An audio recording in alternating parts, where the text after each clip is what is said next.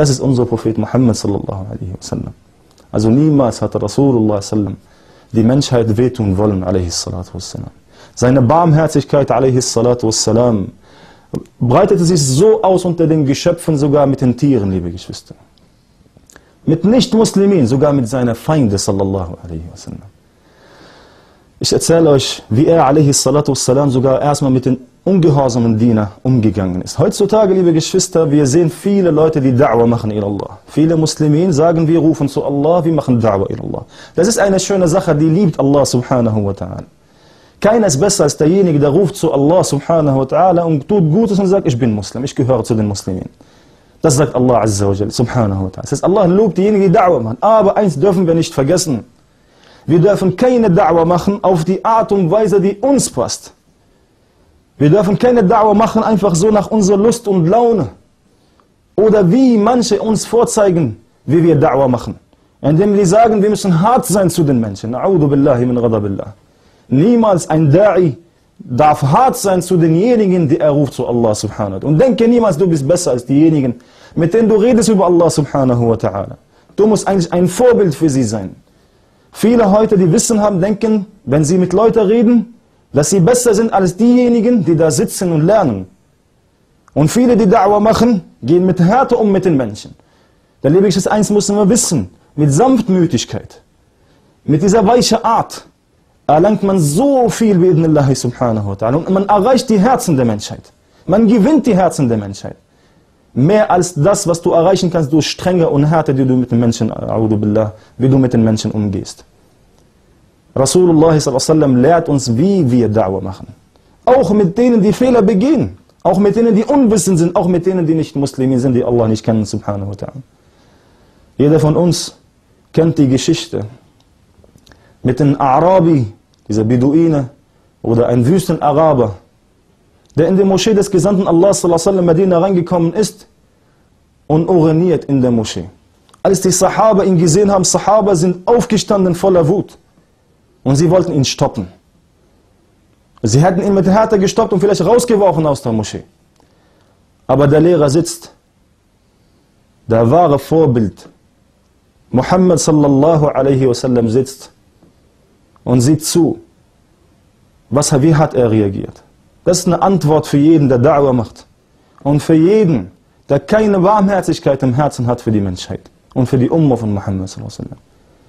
Er alaihi salatu wassalam sallallahu alaihi wasallam, sagt zu den Sahaba, bleibt ruhig, setzt euch hin. Lasst ihn erstmal seine Angelegenheit erledigen. Das heißt, lasst ihn erstmal zu Ende urinieren. Stoppt ihn nicht, stört ihn nicht. Subhanallah, in der Moschee. Dann, als dieser Mann fertig war, Rasulullah sagt, jetzt könnt ihr aufstehen und einmal Wasser nehmen und beseitigt, was er gemacht hat. Und dann Rasulullah sallallahu alaihi wasallam, er hat diesen Mann gerufen zu sich mit ganz viel Liebe und Rahma und Barmherzigkeit erklärt Muhammad sallallahu alaihi wasallam diesen Mann, was heißt eine Moschee? Was ist eine Moschee? Er hat ihn nicht beschimpft. Er hat ihn nicht geschlagen. Er hat ihn nicht wehgetan. Er hat ihn noch nicht mal böse angeguckt, sallallahu alaihi wasallam. Allahu Akbar. Rasul sagt, das ist ein, eine Moschee, ein Masjid. In dieser Moschee darf man sowas nicht machen. In dieser Moschee, die Moschee ist dafür da zum Beten zum Gedenken Allah und um Koran darin zu rezitieren. Allgemein in dieser Moschee tut man gute Taten, die Allah liebt. Man betet Allah an, subhanahu wa ta'ala, man macht nicht sowas mit viel Sanft und Liebe. Sallallahu alaihi wasallam. Der Mann war glücklich, beruhigt und hat verstanden, worum es geht. Durch die Art des Propheten Muhammad sallallahu alaihi wasallam. Der Mann macht Dua, sagt Allahumma arhamni warham Muhammad, wa la tarham ahadan ma'ana. A'udhu billah. Der Mann sagt, oh Allah hab Erbarmen mit mir und mit Muhammad sallallahu alaihi wasallam und kein anderer. Warum hat er das gesagt? Weil er gesehen hat, wie Rasulullah sallam mit ihm umgegangen ist, mit dieser Sanftmütigkeit, mit dieser Liebe. Und die Sahaba waren stark, deswegen hat er die Rahma von Allah begrenzt. Rasulullah sagt, sagte zu diesem Mann, O ja Arabi, begrenze nicht die Barmherzigkeit Allah subhanahu wa ta'ala. Begrenze sie nicht, denn die Barmherzigkeit Allah azza wa jalla ist weiter als alles, was er erschaffen hat, subhanahu wa ta'ala.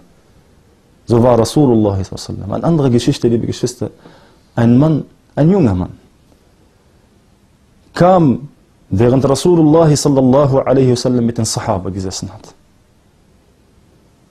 Was war sein Wunsch? Was wollte er von Rasulullah sallallahu alaihi wasallam? Er hat eine Bitte gehabt. Sagte, ja Rasulallah, erlaube mir die Sinne zu begehen. Erlaube mir die Unzucht. Allahu Akbar. Und wir wissen alle, wie, wie groß diese Sünde ist im Islam. Sie ist eine große Sünde. Es gehört zu den großen Sünden des Islam.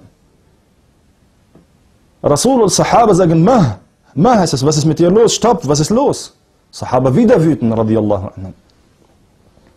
Rasulullah sallallahu alaihi wasallam lehrt uns, liebe Geschwister, wie wir uns zu verhalten haben. Sagt er, komm her, junger Mann. Der junge Mann kommt zu Rasulullah wasallam. Alaihi salatu wassalam. Sagt ganz lieb, mit viel Rahma. Sagt, junger Mann, wünschst du dir, würdest du sowas wollen für deine Mutter?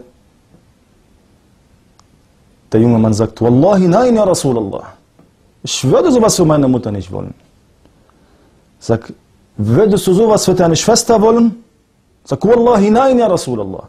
Würdest du sowas für deine Tante wollen? Sagt er, Wallahi nein, ja Rasulallah. Sallallahu alaihi wasallam.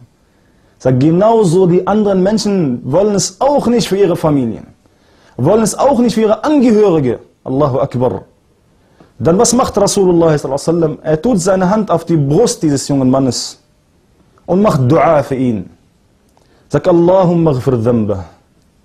اللهم طهر قلبه. شو اليوم اللهم طهر قلبه وحصن فرجه واغفر ذنبه. بس فإن دعاء ديزا دعاء زولم في أفتر من في أنس في انزر فاميلين انجهوري اندي مسلمين رسول الله صلى الله عليه وسلم زكت أو الله اللهم طهر قلبه. أو الله غينيك زين هاتس. وفن von? Diesen Gedanken, von diesen schlechten Eigenschaften, von diesen schlechten Wünschen. Weil das Herz hat Krankheiten, liebe Geschwister. Möge Allah uns davon befreien. Und dann sagt er weiter, sallallahu alaihi wasallam, وَحَسِّن فَرْجَ sinngemäß, und bewahre seine Keuschheit vor Unzucht, vor Sinn, vor dem, was haram ist. Und das dritte sagt, oh Allah, und vergib ihm seine Sünden.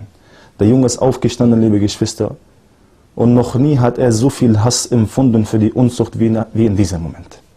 So hat Rasulullah sallallahu alaihi wasallam den Übel verändert. So hat er das Gute geboten und das Schlechte verboten. Es gibt so viele Geschichten, liebe Geschwister, wenn man heute anfängt über den Propheten Muhammad wasallam zu reden, dann sind wir bis Fajr hier. Noch eine einzige Geschichte, inshallah Rabbil Alamin. Wie er die Leute gelehrt hat. Die Art und Weise, die wir heute leider verloren haben. Die Barmherzigkeit, die wir leider verloren haben. Ein Sahabi berichtet, dass er in Moschee reinkam und betete mit Rasulullah sallallahu. Im Gebet, ein Mann nieste.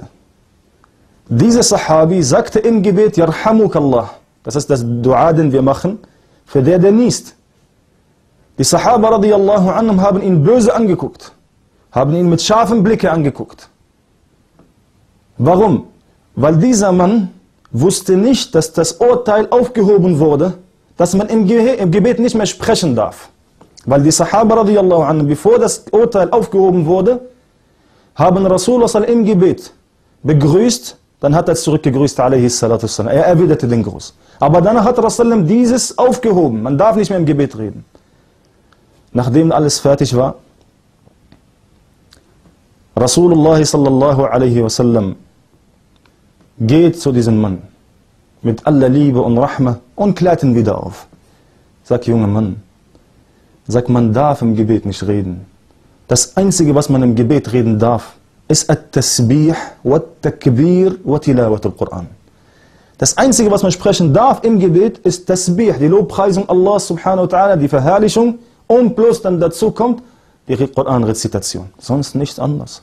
Dieser Mann sagte, Wallahi, Weder hat er mich beschimpft, noch getadelt, noch hat er mich geschlagen, sallallahu alaihi wasallam. Er sagt, bei Allah, ich habe keinen Lehrer gesehen, vor und nach ihm, der besser war als Rasulullah, sallallahu alaihi wasallam. Aus solchen Geschichten, liebe Geschwister, müssen wir lernen. Wir müssen eine Lehre daraus ziehen. Und die Barmherzigkeit unseres Propheten Muhammad sallallahu alaihi wasallam begrenzt sich nicht nur auf die Ummah, auf die Muslimin, sondern sie erweitert sich und breitete sich aus in der Zeit, auch mit seinen Feinden.